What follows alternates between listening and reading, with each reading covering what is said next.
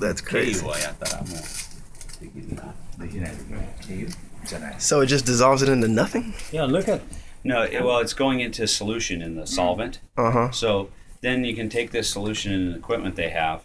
Uh, it, you can then, for for example, if you had cans of this around an area, uh-huh. you had large amounts of styrene, you you can put it into a half drum and then pick those up, and you've reduced the amount of styrene you know, volume at, at at a location, and then you can go take that styrene liquid back and re- recycle it, take the solvent out of it. It's getting これが solid. 200リッターのドラム缶だと思って想像してくれって言って、 So you get a 200 liter drum or a 50 gallon drum Wow. and half full, and then it's, So then we can just use that.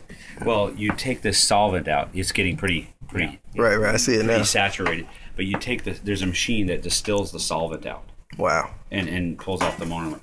Now that is probably because the solvent sometimes is present. It has a lower value than